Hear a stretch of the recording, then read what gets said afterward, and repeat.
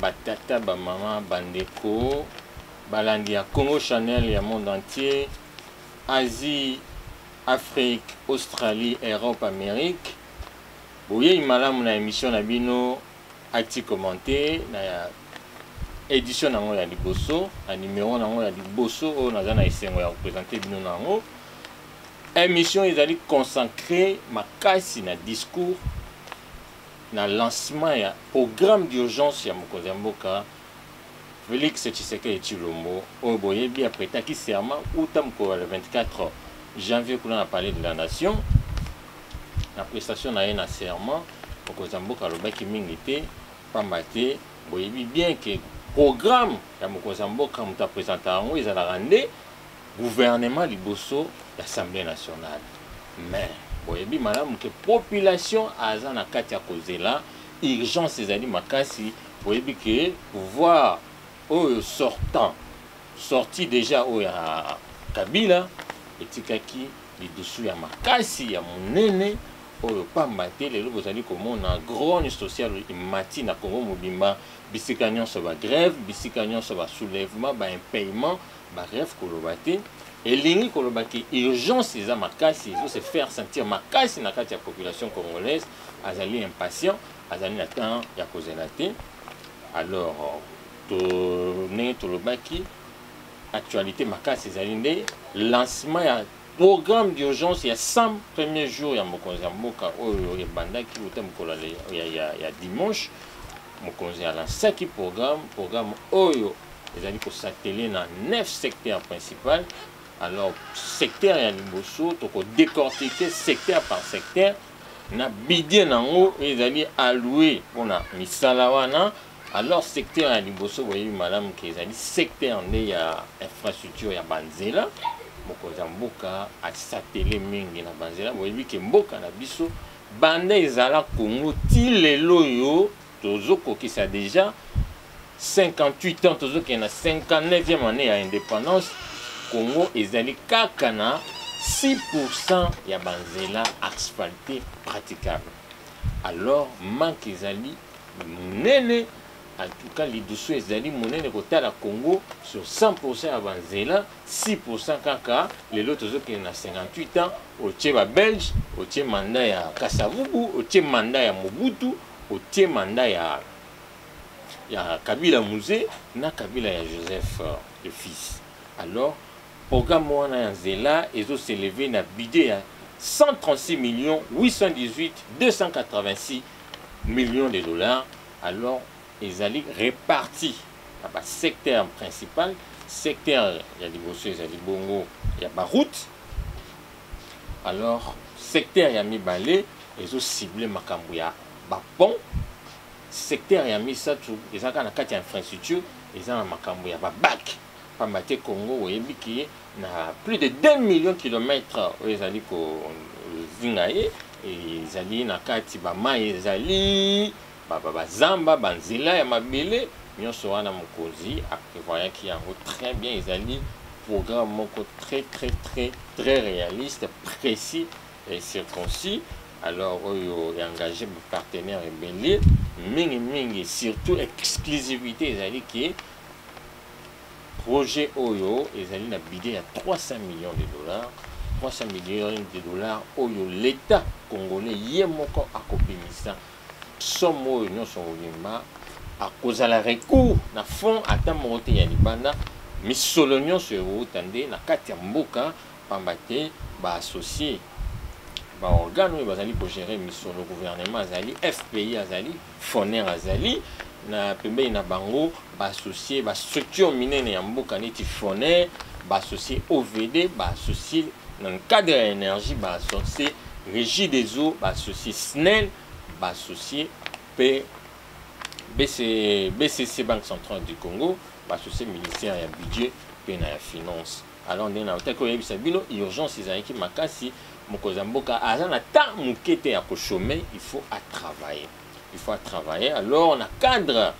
ya mosala wana nayebisaki bino volet ya liboso wana oyo etali baroute ezwi bongo nord na kati ya grand nord boyebi ke tozali komona bongo na kati ya grand nord ezali koenglobe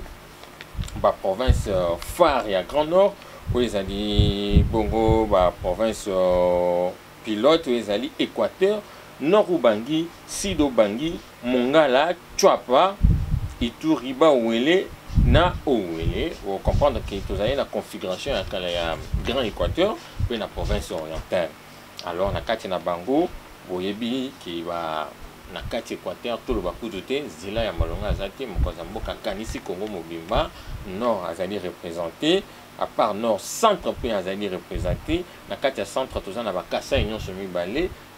Grand kasai na kolinga nde na lobela mingi ba kasai na configuration na bango ya kala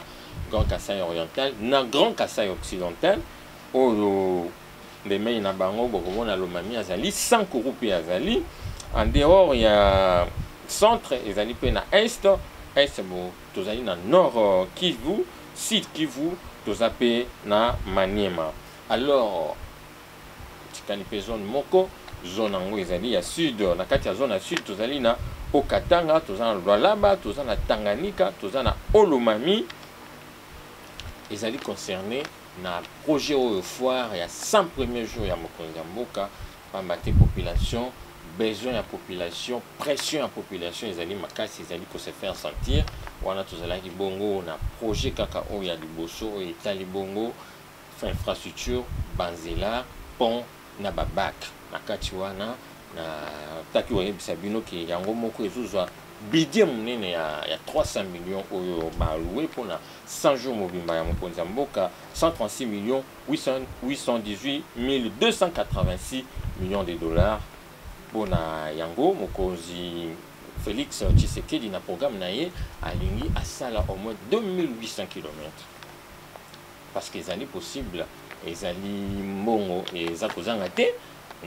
ba ouvrier main d'œuvre mpe ezali kozanga te alors mokonzi ya mboka azali déterminé pamba te changement il faut se faire sentir alternance esalamaki changement mpe na kati ya misala il faut se faire sentir alors euh, deuxième euh, secteur ezali bongo secteur ya santé secteur ya sante bozali ke boyebi ke urgence ezali makasi kotala ndenge etat ya bahôpitaux na biso ezali na etat moko ya délabrement très très avancé alors mokonzi ya mboka mpo na secteur euh, ya, ya, ya, ya santé baloue bongo 46 euh, millions 160 304 millions de dollars américains wana ezali mpo na secteur mibale oyo ezali secteur etali santé Alors, na kati ya secteur euh, ya santé, tozali na ba projets phares oyo ekota na kati kati ya secteur ya santé, tozali na ba centres de santé ya ko parachever, ya kosilisa oyo ezali bongo euh, ezali ya kofinalize ezali 31 ya koacheve ezali mpe 51 alors ya kofinalize wana ezali bongo dans 30 jours il faut ezala déjà emonana epesama déjà ezala sikoyo déjà na niveau ya praticabilité na yango wana déjà dans 30, 30 jours alors projet ya mibale ezali bongo projet oyo ya achèvement oyo ezali bongo ya, ya 51 euh, centre de santé wana ezali bongo dans 90 jours soit 100 jours wana mobimba andeo na yango tozali mpe na centre euh, de sante ya aekipe oyo ya koekipe ezali bongo 32 wana ekopesama bongo dans 30 jours ko après euh, lancement ya batravaux esalamaki bongo dimanche environ na yango toza na prise en charge ya makasi ya maternité na 9 zone de santé ya kinshasa na zone ya kimbanseke toza na zone ya biyela kimimi toza na Kisang, ki, ki, Kingasani, toza na Kinseso, toza na Bumbu, toza na Masina 1, Masina 2, toza na Nsele, toza mpe na lancement na yango oyo ekosalema 45 jours après paiement. Vous allez comprendre que ezali bien millimétré, ezali bien calculé de façon que makambo nyonso ezala malamu. Na kati kaka na secteur ya santé tozali na prise en charge ya ba soins ya ba ya ba FARDC na ba PNC boyebaki ke mokonzi ya mboka Abetaki bongo tour banda kaka asalaki remise ya reprise, asalaki reunion ya liboso ya Haut Conseil ya securite oyo asimpreniaki na situation ya ba militaire na biso ba homme en uniforme asalaki deux descente na niveau ya Kantiati asimpreniaki na situation oyo bafamille ya bamilitaire na biso bazali kovivre oyo ezali déplorable président abeti yango sete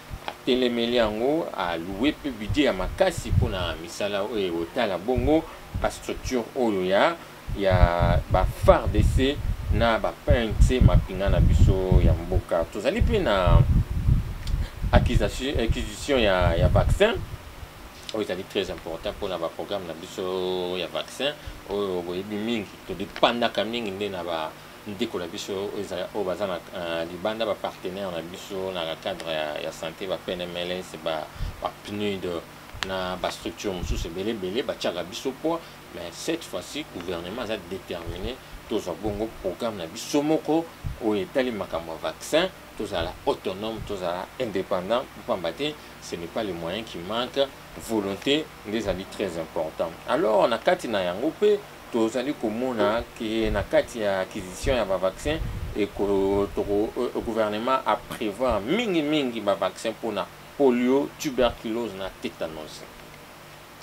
Alors na kati kaka na sante tozali na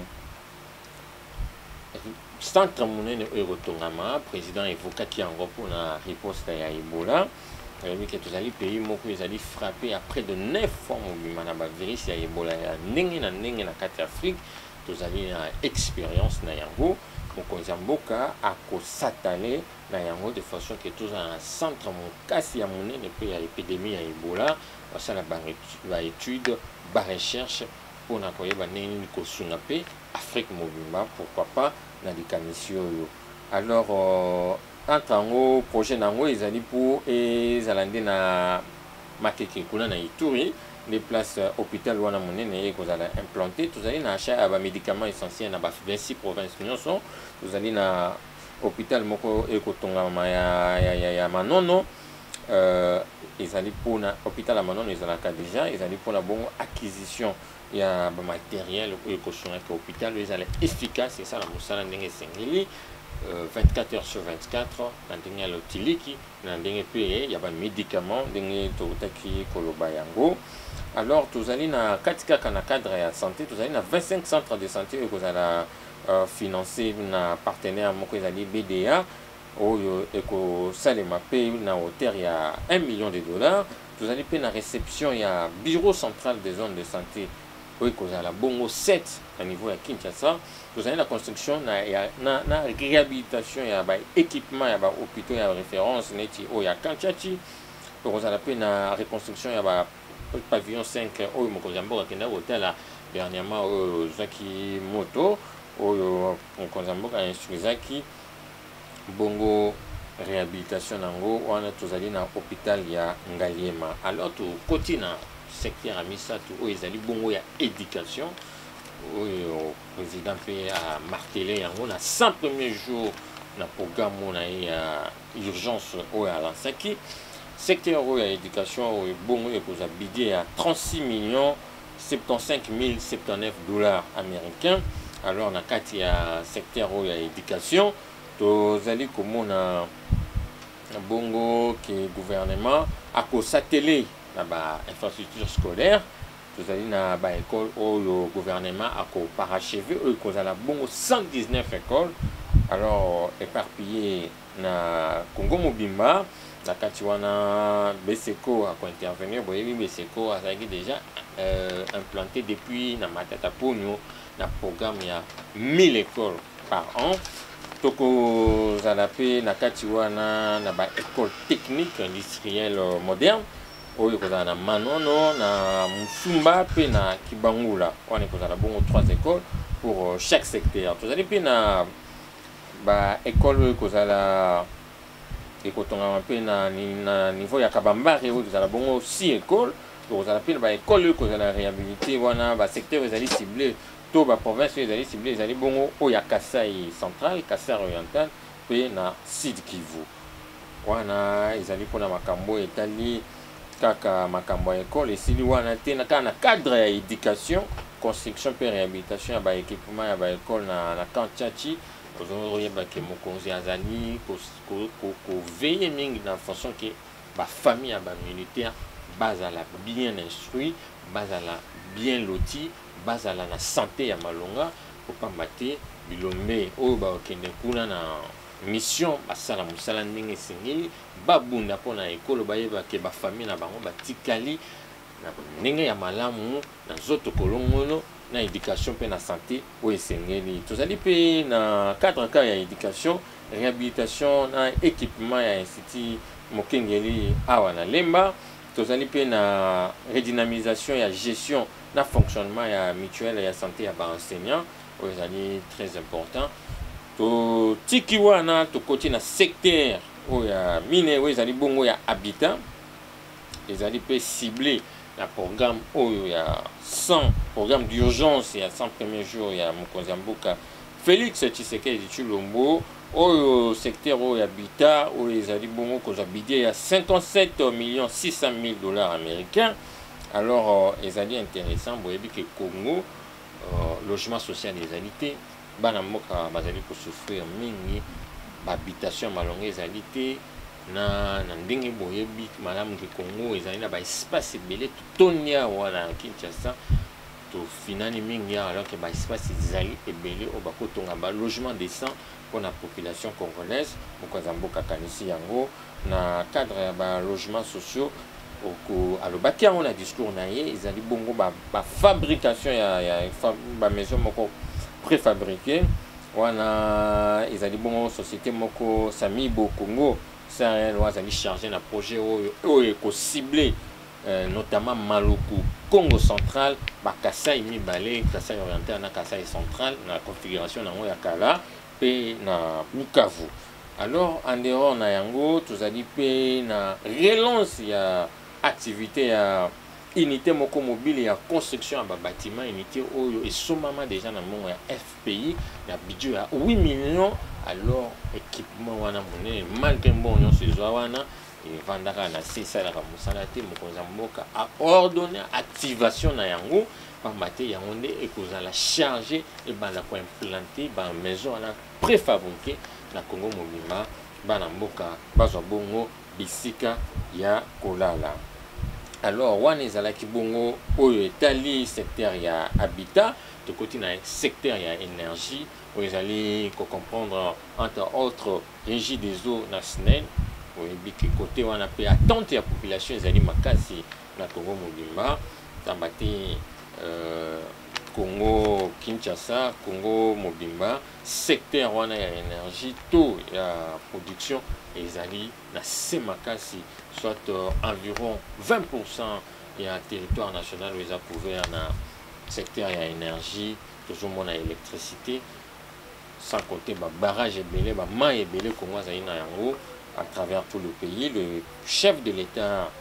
Felix Tshisekedi Tshilombo a ciblaki yango na kati wana boyebi ke ezali na ba phase moko très important ezali nano na production tozali en dehors ya production tozali bongo na transport il faut nano soki ba produire courant oassurer ligne ya transport ya énergie wana en dehors na yango tozali mpe na distribution ba trois secteur wana ezali très très très atelier en tout cas ezali programme moko ezali très très détaillé pamba te na kati wana tozali na ba amélioration ya desserte tozali na acquisition ya ba engin ya sika réhabilitation na ndenge ya ko acheminer programme moko très très euh, gosso na centrale mosusu ekotongama bongo ya gaz kuna na mwanda toyebi toza na gaz ebele kuna na mwanda na congo central parenco akosa charge kuna mpona kotonga barrage moko ya gaz ekoservir mpe population na énergie sans compter misala oyo barrage wana ekogénere mpona population ya congo mobimba alors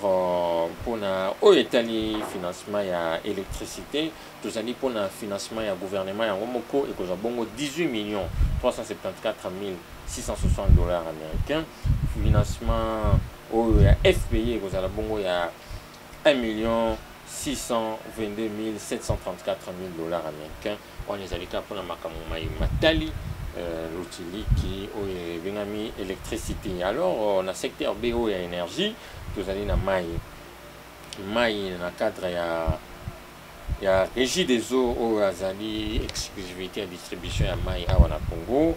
alors ba action minene ezali bongo prévu mpona likambo etali regie des eaux ezali construction ya module oyo ya traitement ya mai ya 110 000 mètre cube par jour côté wana ya site ya ozone tozali na construction ya usine ya sika na lemba na umbu oyo ekozala na bongo ya 35000 mètre cube par jour tozali bongo na alimentation ya eau potable na bacamp militaire oyo ya kinshasa tozali bongo na kibomango tozali na chachi tozali mpe na kokolo oyo ezali concerne na projet moko ya mai moko autonome 24 heures sur 24 tozali mpe na alimentation ya eau potable oyo ya congo central ya kananga ya tanganyika ya kasai central kasai euh, oriental Tozali mpe na province orientale na Bandundu mpe na Sud Kivu. Kaka na cadre ya mayi tozali mpe na etude ya forage oyo ekosalema oyo bakotimbola mayi oyo eza na se ya mabele mpo na bazone oyo circuit normal ekosalema te mpona korepondre na deficit wana ezali makasi notamment na ville ya kikwiti mpe ya Kananga. Tozali mpe na parachèvement ya programme ya déduction d'eau potable wana na base militaire ya Kitoda. Tozali mpe na achèvement oyo ya déduction d'eau ya site universitaire ya Eleki, mpamba te esengeli site wana ezala mpe ekipe na mayi mpe na courant na ndenge esengeli, alors mokonzi ya mboka a cibler secteur mosusu oyo ya, ya emploi oyo ezali bongo sixième secteur oyo ekozwa bongo 1 million 800 mille dollars américains. Alors na kati ya secteur oyo ya emploi tozali bongo na misala makasi oyo ekosalema bongo na achèvement ya construction ya incubateur oyo ya pilote de petite et moyenne entreprise oyo eza na limete Na kati na yango, ba points moko ezali très important wana ekozala cible, ezali initiation ya ba jeunes na ba metiers na ba activites creatrices d'emploi. Tozali na initiation de jeunes en entrepreneuriat, à la création ya ba PME na ba PMI. Tozali bongo na creation na oyo ekosalema dans 5 ans, wana ezali mpo na quinquennat mobimba ya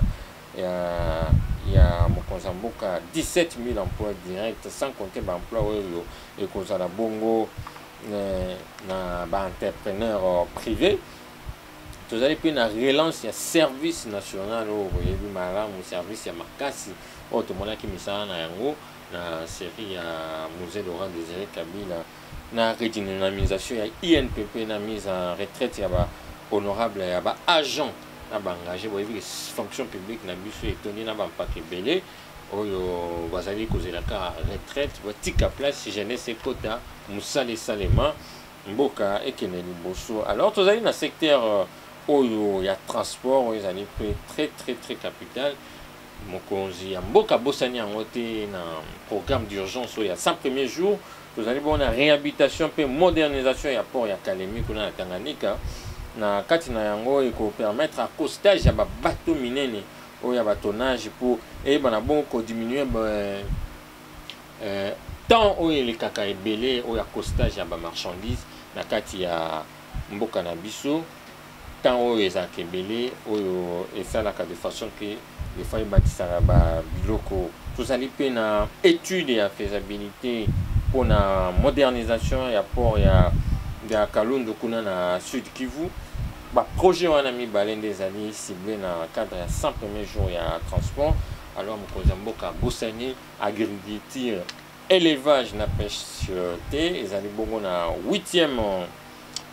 8e secteur oyo ya misala ya mokonzi ya mboka na kati na yango ekozala bongo réhabilitation ya ferme ya lukelenge wana kuna oyo ezalaki bongo ex euh, ndaipel ezali bongo na kasai euh, oriental mpo eyebana bongo koassure sécurité alimentaire ya population mobima tozali mpe na appui ya baéleveur oyo basalaka mosala makasi na Nguluma munene kuna na Sud Kivu, projet wana ekozala pilote euh, oyo ezali pilote na comité ya anti-bwaki na kati na yango ezali bongo kaka na cadre ya koassure sécurité alimentaire mpe production ya miliki kongo ifo emelaka miliki ya pio miliki oyo euti na bangombe miliki fresh mokonzi ya mboka akanisi yango na 100 premier jour Tozali mpe na appui ya entreprenariat ya ba jeunes pratiquants aquaculture oyo ezali koloba mbisi na kati ya bamai. Tozali mpe na oyo ezali makasi ezali kosalema bongo na lac Kivu kuna na nord na sud Kivu. Alors mpo na kosukisa, mokonzi ya mboka azali na basecteur mosusu minene ya ciblaki, ezali bongo secteur ya justice très important wana mokonzi ya mboka alobeli mingi mpo na grace présidentielle oyo akoaccorde pratiquement dans 10 jours ba prisonniers politiques oyo bakangamaki mpo na ba opinions na bango bakozala liberes déjà dans 10 jours mokonzi ya mboka alobaki yango ezali mesure moko très très fort oyo population mobimba ebandi ozela oyo ekosalema bongo dans 10 jours oyo compte à rebours ebandaki déjà elo mokolo ya liboso na kati kaka na basecteur mosusu wana toza mpe na secteur oyo ya sécurité oyo boyebi très bien ke nungunungu ezali makasi kaka na kote oyo ya nord na territoire ya beni mpe ya butembo massacre ezali kocontinue mokonzi ya mboka azali koveye na yango andeo na yango toza mpe na kasai central kuna bipai wapi kamuna sapo azali kaka kokoba na kotya mwa mbilingambilinga desordre mokonzi akosa tene nango na cadre ya sécurité sans oublier yumbi oyo esika situation ezali catastrophique mokonzi mpe mm, akocible yango na programme d'urgence ya 100 jours en dehors na yango ezali mpe na kaka na basecteur wana mosusu tozali na cadre politique wana ezali kocible mingimingi tour ya baexile politique boyebi ke na cadre wana clément kankosi déjà aniataki mabele Na cadre wana ya retour ya ba exile politique boyebi pe malamu ke euh, mwana mboka Moïse Katumbi Chapo ayebanaki bongo kozwa deja passeport na ye bongo po ayebana bongo kozonga puisque chaque congolais ifo azonga na mboka na ye ajuire acontribue na développement mpe essor ya mboka na ye na kaka na cadre wana ya retour ya baexile politique général baramoto bomonaki ye Eza na bilili oyo ekonzi ayambaki na cadre ya dine oyo asalaki na banotable ya grand équateur ezali kaka na cadre wana baeffet déjà esesalami mokonzi akokoba na yango de façon ke bandeko mosusu oyo bazali nano na libanda mboka bazonga sans problème baya kocontribue na développement ya mboka kaka na cadre ya basecteur mosusu tozali mpe na secteur oyo ya lutte contre corruption oyo mokonzi ya mboka azali kobeta sete na ndenge ya kosakana te corruption ezali komela bamilliard ya dollars na ndenge ya kosakana te koservir na développement ya mboka mokonzi ya mboka kosatele nango na 100 premier jour awa baefe ekosalema tozali komona yango déjà oyebi très bien situation elekaki bongo na contrat ya agi kuta na kuna na ptnk mbongo oyo mobilisation esamaki kaka mpona mois ya janvier oyo ezali ko atteindre presque 80 ya mobilisation globale oyo ezali ezalaki prévu na année mobimba eh, basinio ba makasi esi emonani déjà na cadre wana tozali kaka na cadre ya basecteur mosusu wana tozali na bonne gouvernance wana mokonzi ya mboka asible bongo charte moko ekozala signe mpo na baoyo nyonso bakamba mboka ye moko alobaki bokonzi ya sikoyo banome yo ministre okosepela te mpamba te oza nde mongamba ya population population aza wana vigilant vigilant okozala wana mpo na koservir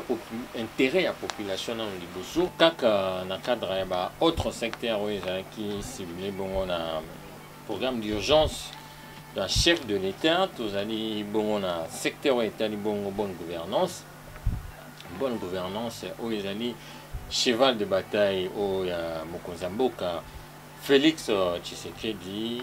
azali komartele mingi wana azali na souci makasi bonne gouvernance ezala ekamba bongo badirigeant justice equitable, redistribution, redevabilite na kati ya population, rendement ya mosala ozali kosala oyo ezali très important mpamba te développement ya Congo ezali kosenga bonne gouvernance kaka na ba autres secteur ezali na secteur ya diplomatie Congo euh, RDC Congo Kinshasa azali kojouer azali kojouer place moko très stratégique mpamba te azali na kati ya centre ya limité par 9 pays azali très très très important il faut azala diplomatie agissante oyo ebandaki uta eh, régime euh, oyo esebimi oyo ya euh, joseph kabila bongo pamba te président mpe amartele yango président mpe na cadre kaka ya baautre secteur ya activité